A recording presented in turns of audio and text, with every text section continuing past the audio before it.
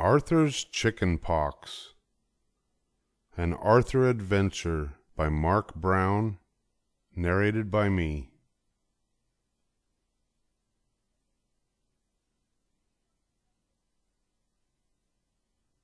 It was Monday morning, but Arthur's family was thinking about Saturday's trip to the circus. I wonder if the knife thrower will be back, said father. The trapeze artists are my favorite, said mother. I like the clowns best, said Arthur. I like the cotton candy, said D.W. Arthur thought about the circus in school, too. For his art project, he drew a picture of the circus. Then at lunch, Arthur noticed he didn't feel very well. He went to the nurse's office. You have a temperature, said the nurse. Then Arthur's dad arrived to take him home. I'm going to have to get better fast, said Arthur. I don't want to miss the circus. D.W. was surprised to see Arthur when she got home from playgroup. What's wrong with you? she asked. You don't look sick to me, but I feel sick, said Arthur. I think you're faking, said D.W. At dinner time, Arthur got to have chicken noodle soup on the sofa. Why do I have to eat at the table? asked D.W. You're not sick, said Mother. Well, I think Arthur is just pretending, said D.W.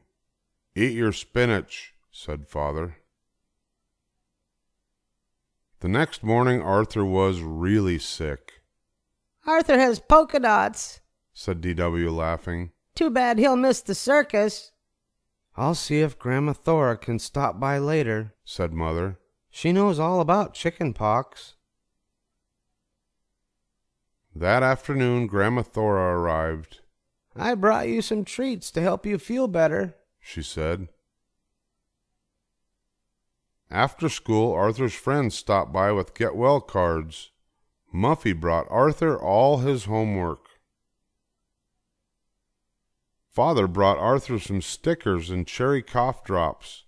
Can I have a cough drop? asked D.W. You're not sick, said Arthur. I feel all itchy, said Arthur after dinner. Try not to scratch, said Grandma Thora.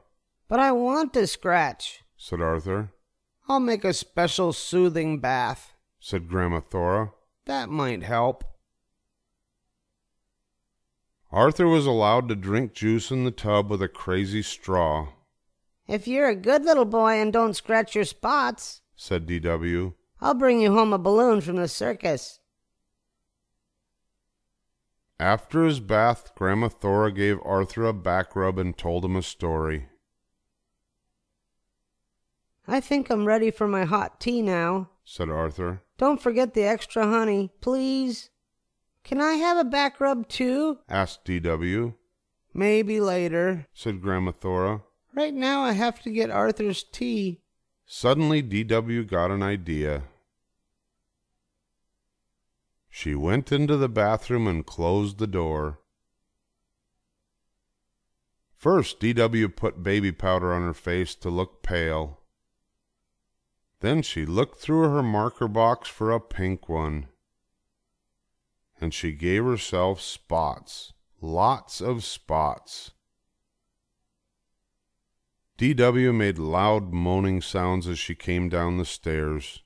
I don't feel well, she said. Good heavens, said Grandma Thora. You have them too. Let me take your temperature. When no one was looking, D.W. held the thermometer under hot water. Oh, dear, said Grandma Thora when she read the thermometer. I feel itchy too, said D.W. I think I need a soothing bath. Of course, said Grandma Thora. And how about some juice? asked D.W. With a crazy straw. Of course, darling, said Grandma Thora. D.W. didn't notice that while she was in the tub, all her pink spots washed right off. But Grandma Thora noticed. Dora Winifred, she scolded. I'm very disappointed in you. Well, how's our little patient? D.W. asked Arthur the next afternoon. Still itchy Said Arthur. and still sick. That's too bad. Said D.W. She moved the telephone near Arthur. Excuse me, She said, I have to make an important call. Hello, Emily. I have an extra ticket for the circus on Saturday. Want to go with me? Great. Bye. Mom, moaned Arthur. DW is torturing me. By Friday, Arthur was feeling well enough to go out to dinner with his family. I guess I'll be going to the circus after all. He said, Oh, that's just grand. said Grandma Thora, DW, you'd better call Emily. said Mother, Maybe I should wait. said D.W. Who knows? Arthur might get the flu. But Arthur didn't get the flu. The next morning he was up early and dressed for the circus. Everyone else was ready for the circus too. Everyone except D.W. Hurry up, DW, or we'll be late. called Mother. D.W. came down the stairs singing. It's cotton candy I love to eat. It's so squishy, it's so sweet. Mother just looked at D.W. Oh boy, said Father. Good heavens. Said Grandma Thora. Arthur started laughing. What's so funny? Asked D.W. Back to bed, young lady. Said Mother. But what about the circus? Cried D.W. Don't worry. Said Arthur. If you're a good little girl and don't scratch, I'll bring you home a balloon.